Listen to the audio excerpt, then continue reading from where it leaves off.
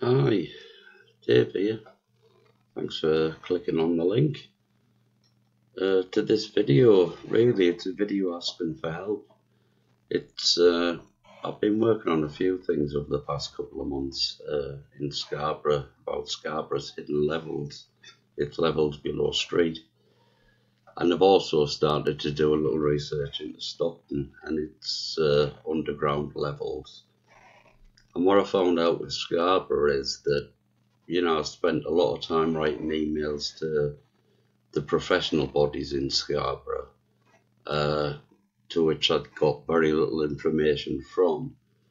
But the most incredible bit of information I actually got from somebody that just stumbled across my videos that happens to know a lot about Scarborough.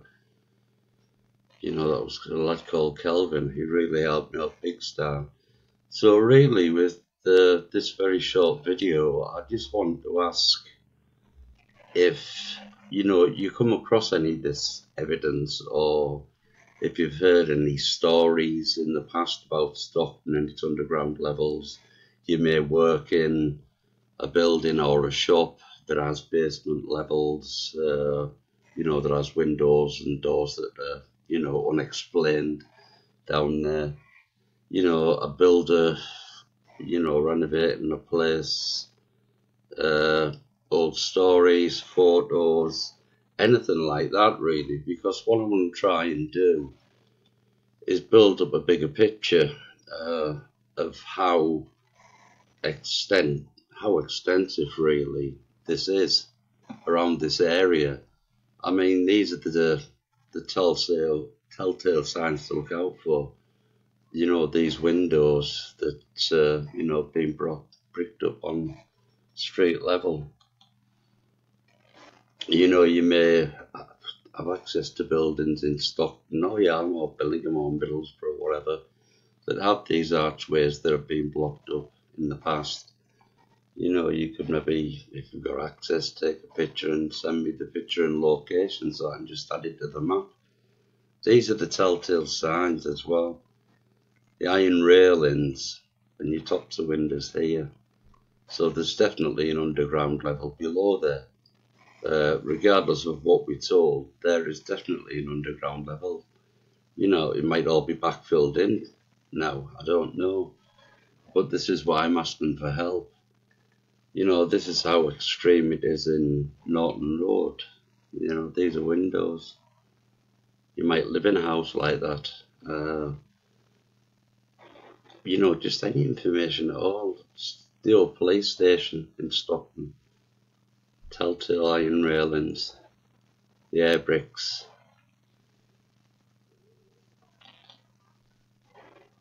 Uh, this is an old, oldish picture of Church Road. Maybe not that old, but it's these telltale signs of your iron railings. I mean, this one here You've got iron railings, but there's no evidence of windows there. But I bet you, you know, I bet me bottom dollar that there's another level below there. Because I know these buildings up here have a level below.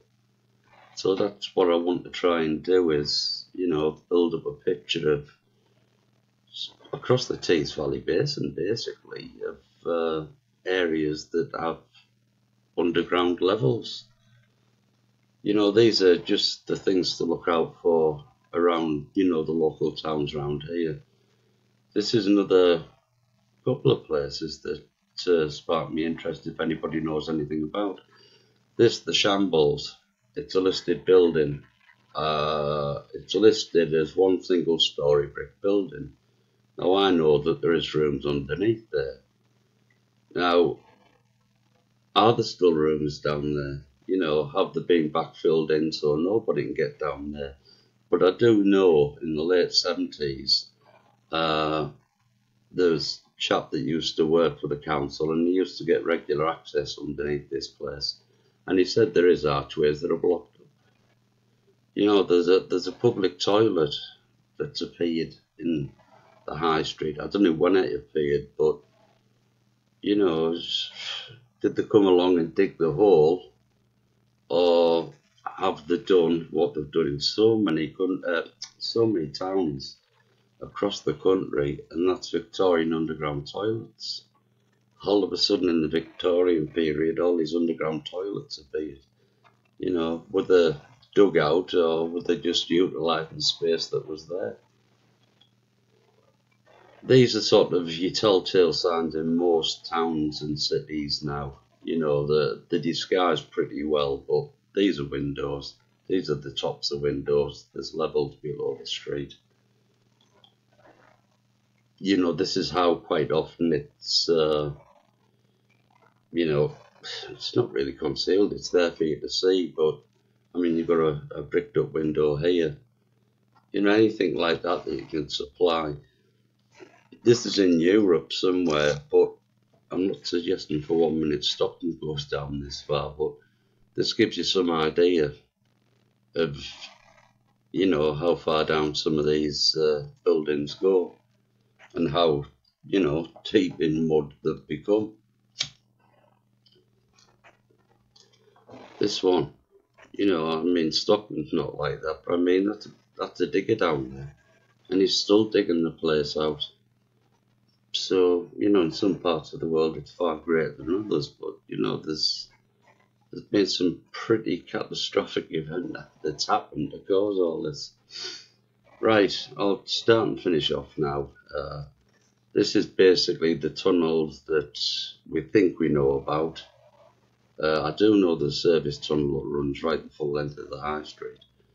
Uh, this is the house that started off my interest again with its uh, windows and doors below street level. And really, you know, I went out one afternoon with my camera and all these places with the, you know, the pinkish arrows are areas where there's evidence of levels below the street or level below the street. Whether it's one or two, I don't know.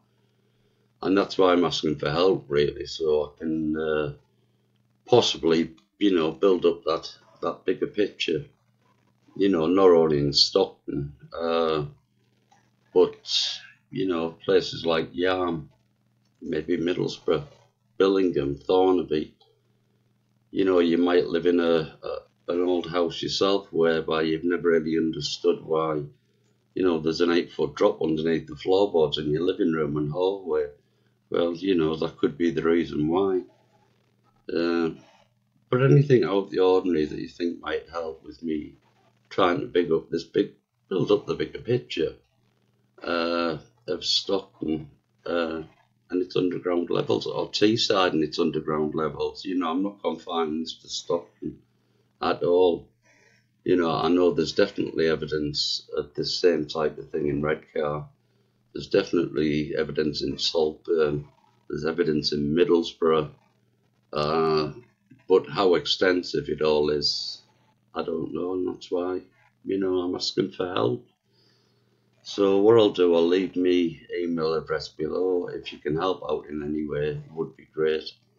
Whether it's pictures, whether it's stories. Uh, you know, I don't want people getting in trouble by taking pictures of things that shouldn't be or going into areas below shops that, where they shouldn't be or whatever. Uh, but it, it's just to help build up the bigger picture and try and find a little bit more about this period in not only Stockton's history, this is a worldwide event. Why it's, you know, it, it's airbrushed out of our history. Uh, so that's it for that one. Thanks again for watching and any help would, greatly appreciated. Thanks. Bye.